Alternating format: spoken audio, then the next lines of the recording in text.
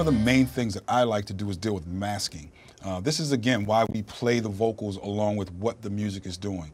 Because we have to figure out uh, in this main bed, which happens to be this,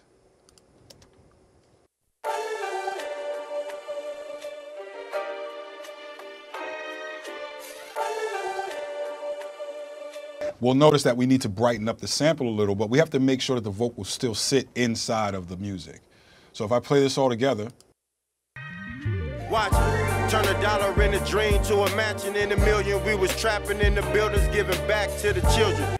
Our vocals are nice and sitting on top of the beat, but as I brighten this, this can start to conflict with some of those frequencies. So what I want to do first is find those frequencies that I want to take out of the sample. At the same time that I'm enhancing some frequencies, I'm going to be taking some out to make room for the vocals. So if we look at this vocal. Turn a dollar in a dream to a mansion in a million. We was trapping in the buildings, giving back to the children. You can see that our main area is right about here. That right under that 2K, right above this 1K, all the way up to here to this 5K is going to be the concentration of what we need to get taken out of the sample. But we also need to brighten it so that's where the biggest thing that we can do with this F6 is mid-side EQing.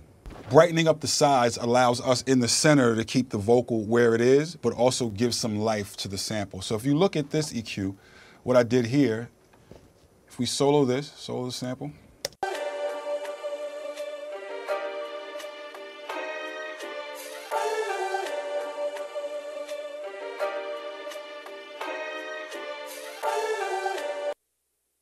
If you look at this frequency here, I'm going at about 8,000, but this is completely here on the side. On this F6, you can change between stereo, mid, and side. So right now, I'm just brightening the side.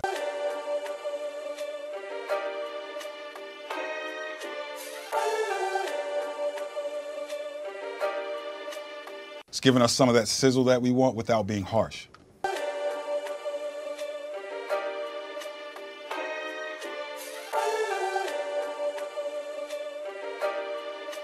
We went down to about 3.7K. And again, it's just to brighten up, but it's not to take away from where the vocals are gonna be. So again, we're just brightening up the side.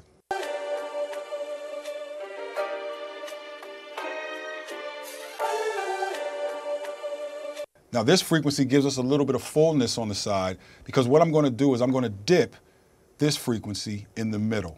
If we look at about 1.4, 1.5, I'm using this strictly for the mids, strictly for what's underneath of the vocal. In a million, we was trapping in the buildings, giving back to the children. Had to run the music up and run the bag up. It's very subtle, but you can notice that when I put in that particular frequency, it dips and allows the vocal to sit more on top of the sample and be wrapped by the sample versus turning the vocal up. Turn a dollar in a dream to a mansion in a million. We was trapping in the buildings, giving back to the children. Now want plaques, me and Black Sam matching backs, black on black, double up, back to back. Sold out dates in NY, that's a fact. Casanova in the cut. Now, as I hit bypass, you can hear it. We lose that frequency and we also get cluttered with the vocal. So again, by pulling out the middle frequencies and highlighting the frequencies on the side, we allow our vocal to sit a little bit better. Turn a dollar in a dream to a mansion in a million. We was trapping in the buildings, giving back. Had to run the music up and run the bag up.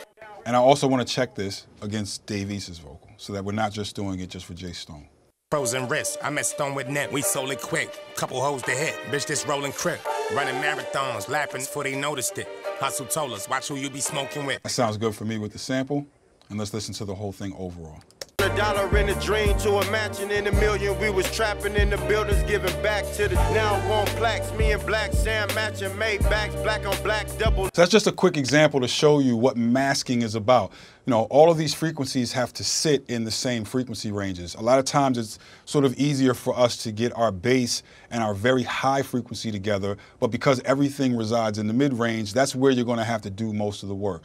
Most of the dipping of where you're gonna make decisions inside of your main music bed so that the vocals can sit is gonna be in that upper mid-range. Uh, I would probably say anywhere from about the 1K to about the 5K range is gonna be the real concentration of frequencies.